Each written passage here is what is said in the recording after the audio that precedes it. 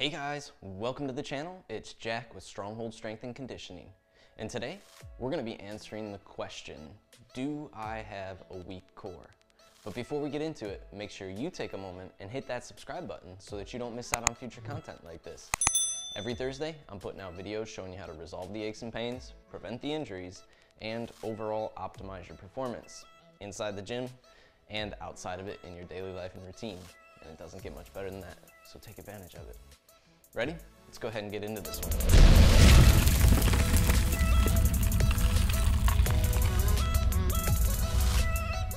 All right, guys. So today we're answering one of the most important questions that you could possibly be asking yourself when it comes to improving your overall mobility and strength, and that is, do I have a weak core?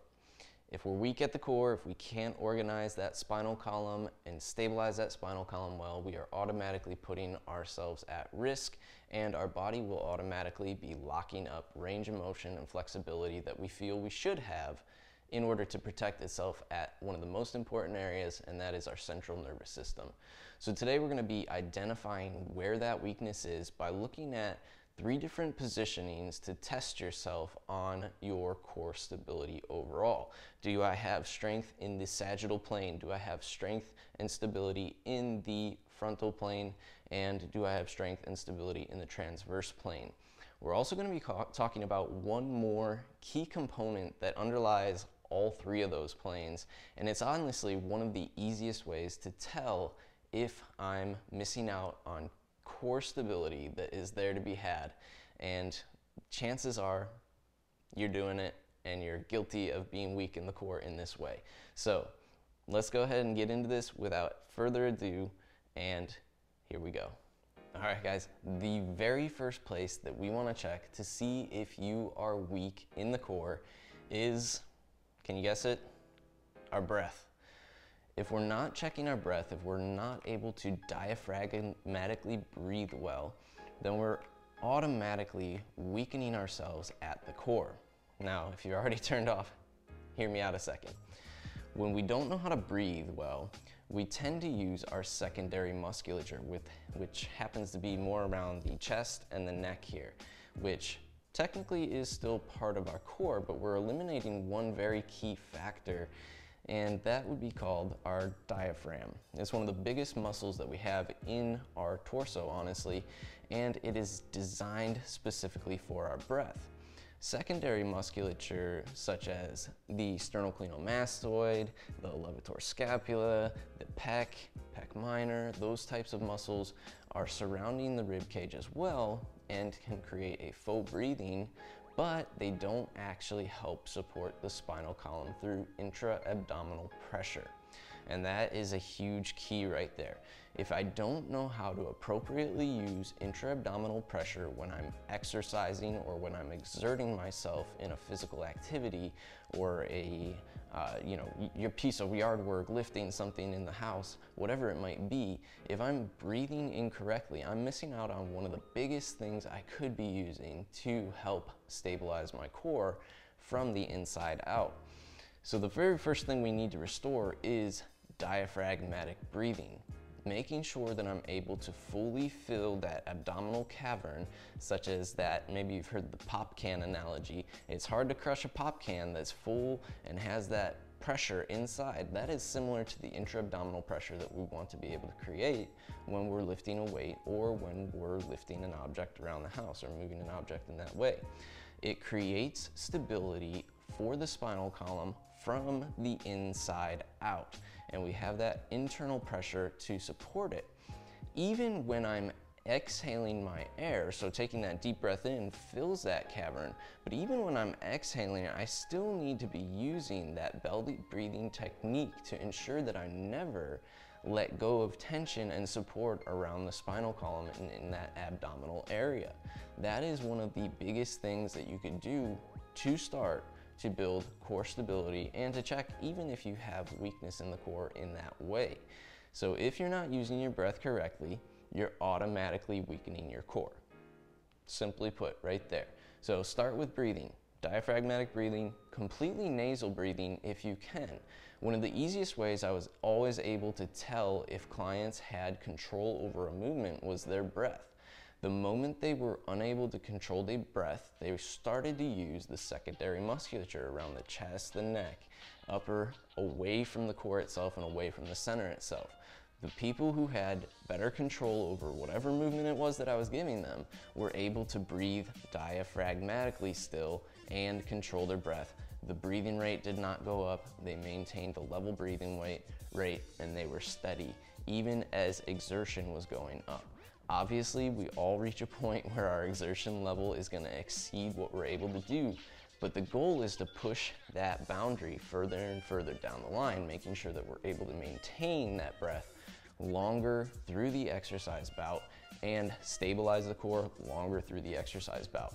If you're losing your breath and you're losing that core stability, that's probably a good sign that you should cut off there and come back in for another set at that point because now we're starting to exert ourselves beyond what we're stable and we're putting ourselves at further risk for injury.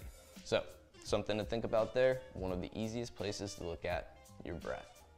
Okay, now that I threw you for a loop on that one, let's get into the actual movements themselves and or the tests themselves for you here so that you can look at where you're weak, which plane you're weak in, and how you might go about fixing or strengthening that, which I'll include a link to my last video that I made on the core that was how to build a strong and stable core right up here so you guys can check out the strengthening stuff itself. Today, it's all about testing and identifying that weakness, but the strengthening portion, right up there. So go ahead and take advantage of that free stuff as well there. But our first test for the sagittal plane, which is most of our front and back movements here, the the one test that I like to do best is a supine low hold here. And it is a very easy one to do in concept, but it will show you where you're actually weakest and where that chain starts to break down. Now, it might just be connecting all the pieces and relearning how to organize your core and stabilize your core in the first place, which that's okay too but keep that in the back of your mind. So in the supine low hold, what we wanna do is place ourselves so that we're lying on our back here. We're gonna organize our shoulder blades first by rolling them down and back and engaging the upper back musculature. And this is gonna put a small arch in my back, not excessive, but small enough. It might feel kind of big at first. Once we engage the abs, that's gonna go away. But I roll those shoulder blades down and back, I'm gonna lift my hips, engage the glutes. So now I'm stabilizing my core from the upper portion and the lower portion. And then I'm gonna bridge it with the abdomen here. Now my goal is to be able to hold this posture without anything shifting with the feet hovering just enough off the mat here that literally I could slide a piece of paper under those heels. So I should feel that mat tap every so often and that's how low I wanna hold, okay? Now I'm gonna tell you guys how we're gonna identify where we're weakest right here in the next portion, okay? Because there's a few key signs that'll happen almost immediately, and it'll happen in one of those three areas that we set that will show us where that weak link is in that sagittal plane. Now, if my instability is coming from the thoracic spinal column and my scapula, what we'll see is that the chest wants to cave and round. You may even go as far as feeling your head pick up off the floor depending on how severe that instability is. And that would look something like this. So here's my perfect setup, but as soon as I lift those feet, my head, chest, and back wanna do this.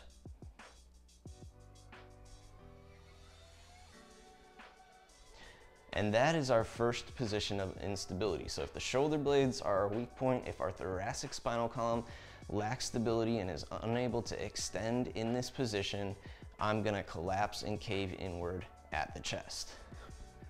The second most common instability that we'll see will come from the hips and pelvis. If I'm unable to actually control the pelvis, then we're gonna see a big anterior pelvic tilt occur and my hip flexion angle will increase, which means I won't have my heels close to the ground anymore. They'll wanna go elevated and I'll likely see my back arch as well quite a bit. So my lumbar spine arches a bunch. My butt is not able to flex the way that it should, so I don't have tension in the glutes, and my hip flexors become the stabilizers in this position. So if I can get my shoulders into a good position, but I don't have my butt stabilizing well, and I'm using my hip flexors to stabilize, you see I have a sharper angle here and a bigger arch here. The way that we control our lumbar spine and our lowest portion of our spinal column is two pieces. So the abs work together to connect not only the shoulder positioning all together with the pelvis, but they also work to keep the pelvis in a good angle with the glutes. But the glutes are actually the main driver here. So if I don't have full tension at the glutes, my ability to stabilize the glutes here, tight flex. That's why I pick my butt up off the floor, flex it as tight as I can and keep that flex. Now I'm still flexing. My butt is firm against the mat here and my butt is gonna be stabilizing with my abdomen to keep my pelvis neutral so that I don't go into anterior pelvic tilt and into that arch, stabilizing from my hip flexors to keep my legs up. So those are the two main faults and instabilities that you'll see in that plane of movement, in that sagittal plane of movement with the supine low hold. This transfers to exercises like the top of a squat, the top of a deadlift, a plank, a push-up. It even transfers into the concept of something like a bench press where the legs are bent underneath us, where we still need the glutes and pelvis to stabilize, even though our leg isn't long. This concept is hugely important for the majority of the exercises that you're gonna do. So if you can't create that pillar of tension through your body in this supine position, that is a huge problem and we need to get that fixed right away. So you can start by working on just this position in general and only holding the quality position, making sure that we're not showing any of those faults, whether it's the caving of the chest or the hip flexion stabilization versus glute stabilization. Those two things, if you don't get them right, it's gonna, it's gonna be a negative effect in the long run with other exercises. So we need to make those a priority, and I can't stress that enough. Make sure that you can stabilize in that sagittal plane with good positioning for at least 60 seconds. So you should be able to hold that position for 60 seconds at a time, rest for 30 seconds, come back and do another 60 seconds realistically, three sets in there, or even up to two minutes. So really how long can we hold that position? That's gonna show our core stability overall. Then when we start adding in, you know, resistance and tension to that position in those exercises that we're doing, now that'll begin to challenge that more and more. But that concept, that pillar concept in that sagittal plane there is so important. I cannot stress it enough. Learn that one well, guys. All right, core test number two, a full side plank. Here we're looking at the frontal plane, so my ability to stabilize in that frontal plane, and it shows a great amount of shoulder stability here to be able to hold this side plank position. What we're looking at is my ability to keep my shoulder in a position where it's not drooping or getting jammed into my ear and neck there. My elbow is rotating toward my ribs. It takes a look at the subsystem, the lateral subsystem that goes along the downside of my body, the underside of my body there. So here I'm able to look at are my glute med and min activating in the way they should? Can I still activate the glutes in full extension in that plane? Because again, even here I can cheat and drop my hips back or I might be sagging. And here you see these faults. So the shoulder fault where it's getting jammed into my ear, I have a an unstable scapula here. I don't know how to use torque in this position. And the drooping hip, I don't have stability from my glutes stabilizing my pelvis or my obliques here. We interrupt this programming for a brief family moment. It was early morning and my recording got a little bit interrupted here, but it's okay. I was just waiting for a camera to go down. Thankfully, it did not. So we're all good.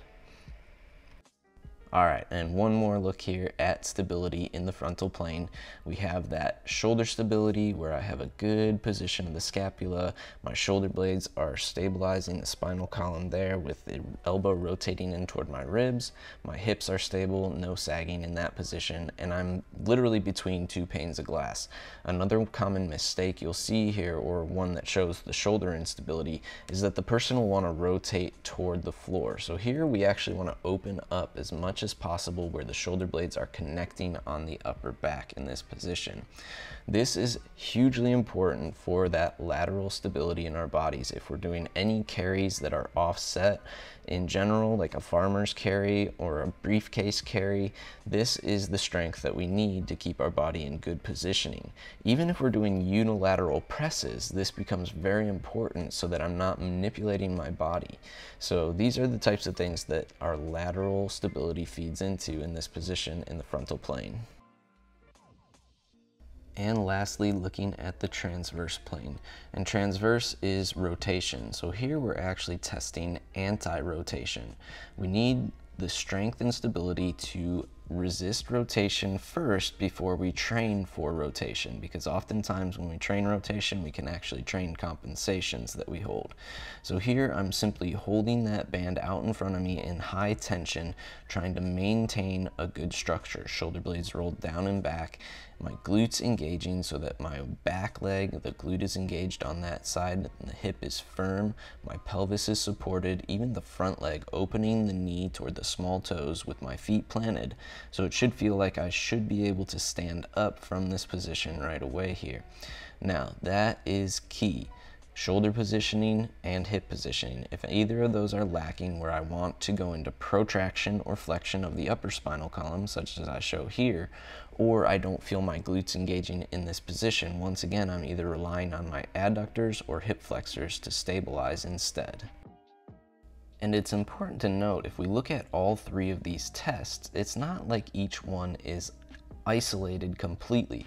So there's always some work in the sagittal plane, there's always some work in the frontal plane, there's always some work in the transverse plane.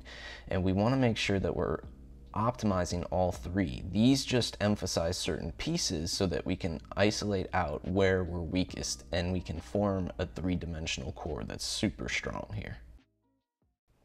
All right, and there you guys have it. Do I have a weak core? First of all, start with your breath.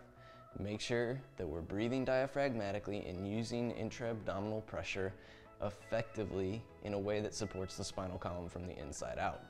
Second, check the sagittal plane. Then the frontal plane, and finally the transverse plane there. If you are strong in all three areas plus that breathing technique, then we are good to go and you have a strong core. If you happen to be weak in any of those areas, again, remember, check out do or how to build a strong and stable core. I'll also link that down below in the description so you guys can check that out there if you missed that link up above. So if you guys like this video, make sure to let me know by clicking that big thumbs up down below and take a moment to share this one with a friend. You know this is one of the most important things for our overall mobility, our health, our longevity, to make sure that we are not injuring ourselves and constantly coming up with aches and pains from training. It all starts at the core and goes outward from there to make sure that we're effectively using our force well. And if you guys are looking to improve your overall mobility, make sure you take advantage of my seven day mobility training challenge. That's also linked down below in the description here. It's seven days of pre-programmed mobility training that are 15 minute sessions no equipment necessary. You could do them right from home, pretty much anywhere you want to, and they will get you headed in the right direction, basically a litmus test for do I have the range of motion I need, do I have the flexibility I need, and where am I lacking stability and control, and it gives you that miniature approach to lead you off from there on what direction you should go with your mobility training to fix all those things. Last but not least, if you have not already, make sure you take a moment to hit that subscribe button so that you don't miss out on future content like this. Every Thursday, I'm putting out videos showing you how to resolve the aches and pains, prevent the injuries, and overall optimize your performance inside the gym and outside of it in your daily life and routine, and it really doesn't get much better than that. Welcome to the Stronghold Army. I'll see you guys next week.